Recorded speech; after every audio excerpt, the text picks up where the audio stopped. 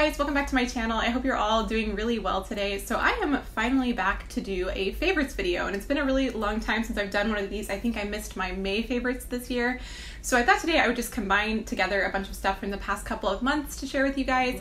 And if you're new to my channel, I do usually do these kind of monthly roundups of all of these different things that I've been liking. So lifestyle, beauty, reading, just different things like that. And I also go over some of my recent sewing and knitting projects. So if you guys are interested in that, that is what this video will be about. And I'm gonna go ahead and jump in with some lifestyle favorites.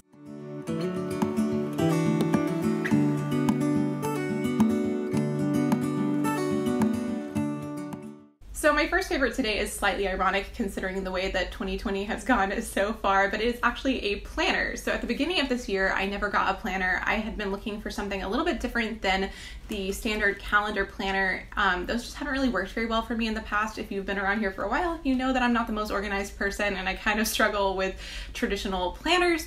So I ended up ordering this one from Lavendaire. And if you guys follow Aileen's YouTube channel, it is one of my absolute favorites on YouTube. It's all about self-development and personal growth and it's just one of my favorite most beautiful bright spots on YouTube so I love her channel so definitely check it out if you haven't already. So this is the planner that she sells on her website and it is so nice because it's very I guess low key is how I would describe it.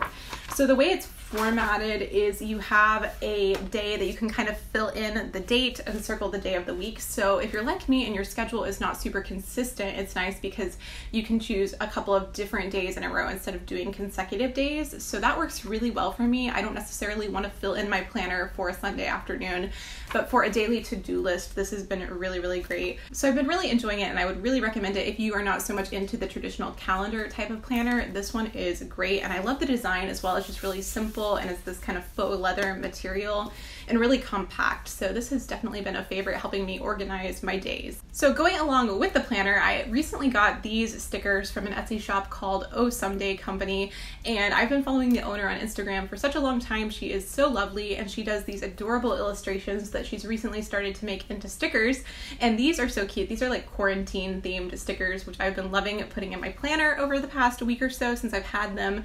They're just adorable. She's even got a little face mask on here, which I think is so cute. So um, definitely check her out on Etsy if you guys are looking for some planner stickers. She's got some adorable designs. I have a couple of different designs by her, but this newest one is definitely my favorite so far. Moving right along to another random favorite, I recently got a candle from a company called Aya Paper Company, and this is a black owned company. If you guys are trying to switch around your shopping, kind of like I have to include more black owned brands, I thought I would just mention that.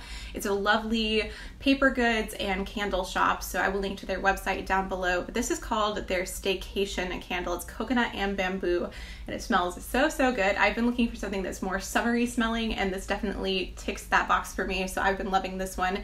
Um, they also have one other that's more like a warm sounding scent that I would love to try, so that is next on my list to order from them. So I think in my last favorites video, I mentioned that I had been trying to work a little bit more on French and getting a little better at French. French is the language that I studied in high school and college, but like most Americans, I feel like I just didn't get very far with it. So I've been trying to self study and get myself to a comfortable speaking ability with French. So I've been using some different resources recently, but the one that I tried over the last month that I really found helpful and interesting and will keep using is Pimsleur. So Pimsleur is almost like audio lessons. So you pay for a subscription like you would for Netflix or Hulu and then you can participate in the conversation through the audio lesson. So for me, who has had a lot of education in the grammar but not so much in conversation, I found it so helpful because it's using a different side of my brain. I feel like it's like I'm having to come up with the way to combine the words together instead of conjugating a verb. So for me, it's been really helpful. I've been combining this with going back through my old textbooks from high school and college. That's been my kind of study approach for the past month or so. But I'm really liking Pimsleur. So if you are wanting to learn a language, I know they have a lot of options on there, and it's definitely more focused on the speaking and conversation than understanding the grammar and the way the language is kind of built. So it's a different approach than I've used in the past which I'm finding really helpful. But if that sounds interesting to you, I will have that linked below as well.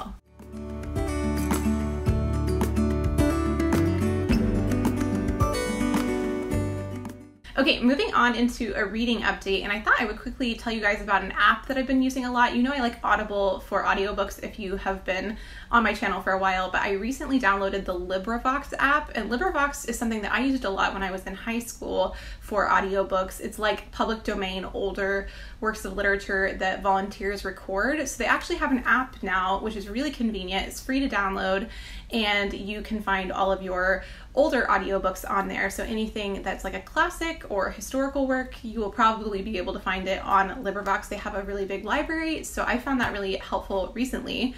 And recently, I've been wanting to get into educating myself a bit more about Black history, particularly in the US. So, the book that I have been listening to recently on LibriVox is The Life and Times of Frederick Douglass. And that has been super eye opening and really educational for me. Something I've been wanting to do over the past couple of years is read more works by formerly enslaved people to kind of get that perspective and have more understanding. So, this book has been particularly interesting and just really um, helpful for me in understanding kind of where our nation comes from in a way. So if you're looking to study more into that, I would really recommend checking that one out. It is hard to read, but it's really important, I think. And then going along with that, with wanting to learn more about Black history, I've also been reading this book called Warriors Don't Cry by Melba Beals, who is one of the Little Rock Nine, and I live in Little Rock, so this has been particularly um, enlightening to me because it is my local context. So I didn't grow up in Little Rock, and I don't feel like I was very familiar with this um, historical event or this story at all. So this has really shown me what it was like in the city just, you know, 50, 60 years ago when my grandparents were here. Um, so it's been really helpful for me just kind of understanding where people around here come from. Um, so I would really recommend looking into a book that goes into maybe your local context if you're wanting to do more self education on this type of topic. I found this really interesting. This one was given to me by my sister who uh, used it in a college history class. Now, because I found that one so interesting and helpful, I went ahead and ordered her second book, which is called March Forward Girl. You can just find her books on Amazon and I'm really looking forward to reading this one as well. This looks like it might be more formatted as a young adult book, so um, just bear that in mind if you're looking into these two. But I found her writing to be both very engaging and very insightful and helpful for me as I'm trying to learn more about um, topics of race in the US. And then I have one more book I thought I would show you guys that I have not read yet. This was one that my sister gave me for Christmas. My sister was a history major and she's an attorney, so she gives me always very interesting um, things to read. And this one is called The Color of Law. I've seen this circulating around on Instagram a lot lately. Um, and this basically goes into the legal system in the United States and how it's structured and how racism, racism has played a part in that. So, um, if you're looking to educate yourself on something like that, this might be a good resource as well.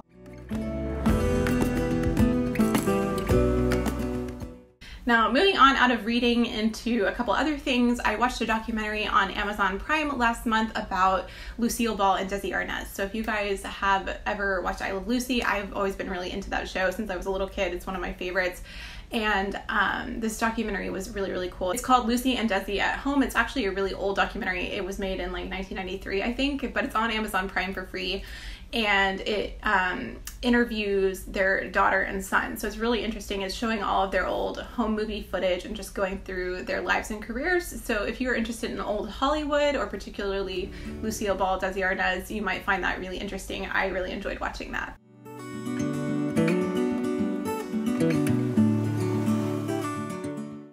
Next up I have a couple of beauty favorites to talk about and I ordered some new nail polish recently from Isla Cosmetics which is a natural nail polish brand based out of Tennessee and I got a couple of new colors. I just have been doing my nails more since I've been at home more and I got this really pretty pale pink and then this kind of rose pink which I think are so pretty and especially for summer this pale pink is really great. If you're looking for light colors that actually show up as the color in the bottle, Isla's nail polishes always do that and I also got their um, kind of gel style top coat, which has been really, really good as well. I don't have anything on my nails right now because I just took my nail polish off, but I think I'm going to repaint them with the pale pink color tonight. And then one more beauty favorite. This is an eyelash serum, and I got this from an Etsy shop called Mint and Ocean. This is another black owned shop, just in case you guys are looking for one.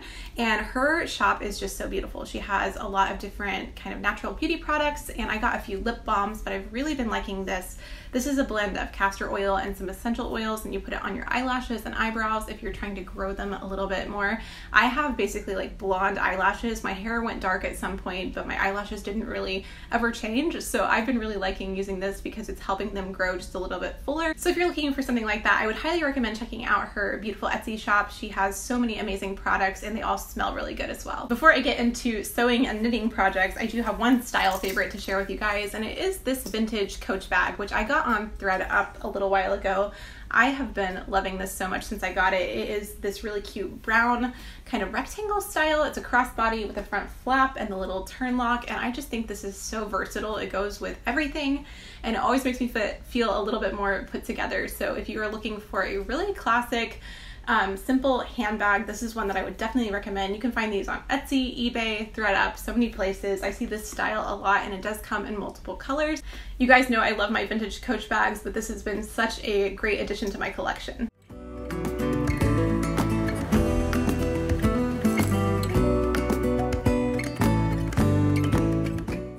Okay, let's talk a little bit about knitting. I've been getting so into knitting this summer, which feels really funny because I think many people enjoy knitting in the colder months, but I don't know, I just, something about being at home more has made me want to knit more.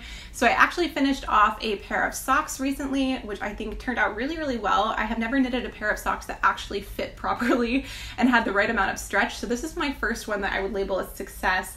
The yarn is from Quince and Company. It's some of their merino wool, which is really soft. And the pattern is called Irish Oats, and the designer is Cabin 4. So I will link to all of that down below in case any of you knitters want to check this out. But I'm really happy with how they turned out. It was so fun to actually finish a pair of socks and have them actually properly work. So I'm really excited about these. And then I started knitting a sweater recently. I've only ever knit one sweater and it was a Christmas Fair Isle style sweater. So I don't really wear it very often. It's like once a year maybe.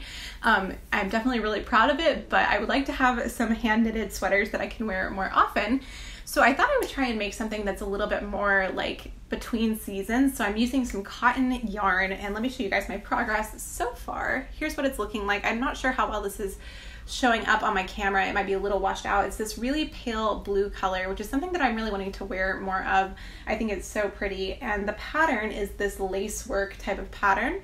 So I'm really excited about this. I'm going to hopefully finish it in the next like month. That's kind of my goal to finish it by um, the end of July. We'll see how much knitting I get done on it. But the yarn is really, really soft. It's also from Quince & Company.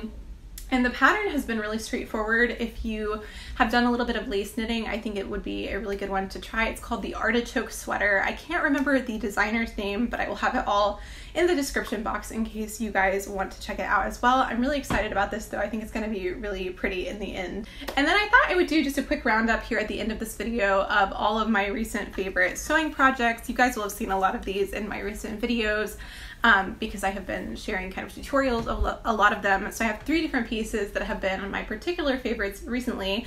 One is this top, which you guys will have seen in last week's video where I made these little sheared smock tops and I love the fabric on this one. It's this really pretty rose print floral from Rifle Paper Company, which they kindly sent to me, but I just think this is so cute. I also made this in a white fabric, which I've probably worn more because it's a little bit more practical, but I love the print on this one. So I was definitely really happy with how this one turned out and I want to make more of these. And then another one I've gotten so much wear out of recently has been this wrap style skirt. So I've been wearing this with like a little lettuce edge t-shirt and sneakers and it's a really comfortable everyday type of outfit. I find this length so comfortable for wearing just on a daily basis. So I've been really enjoying this one. And I think I might make one more of these this summer because the style is just so easy to wear. And then last up is my little gingham dress. This has been such a fun piece to have in my wardrobe. I particularly like wearing it with my white sneakers. I've paired those with most things, but I just think it looks really cute together. So this has been definitely one of my favorite makes recently. I'm wanting to do a video styling some of my handmade summer pieces. I know some of you guys have been asking for that, so hopefully that will be coming up pretty soon, doing some outfits with these different handmade items, but those are some of my recent favorites. And speaking of video requests, a couple of things that you guys have been requesting have been styling videos and then more vlogs. So if you guys who are watching have any specific requests, let me know down in the description box below. I'm trying to get into doing a bit more filming, so maybe including some more variety other than just sewing videos. So if there's anything particularly that you are interested in seeing, just let me know and I will try to get to that. Thank you guys so much for watching this very long-winded video today. I am just looking at my um, microphone and I've been recording for 22 minutes. So this has been quite a long one. Um, but I hope you guys enjoyed seeing all of these random things that I have been loving over the past couple of months. I would love to hear what you guys have been up to lately. So let me know down in a comment below. And if you're new to my channel, I cannot imagine that you would stick through this whole video. But if you are new and haven't subscribed yet, I would love for you to go ahead and do that by clicking the red button down below. I post a lot of content about sewing and style and thrifting. So those are kind of my three main topics if you're interested in any of those. And if you've subscribed recently, I am so happy to have you here. Thank you guys so much for sticking around on my channel. I really, really appreciate it. If you want to keep up with me over on Instagram, my username over there is at just Lauren Johnson. I will put it up here for you guys to go check out in case you're interested. But I think I'm going to leave it there for today, guys, and I will talk to you next time. Bye. Seven years now on this boat you'll know.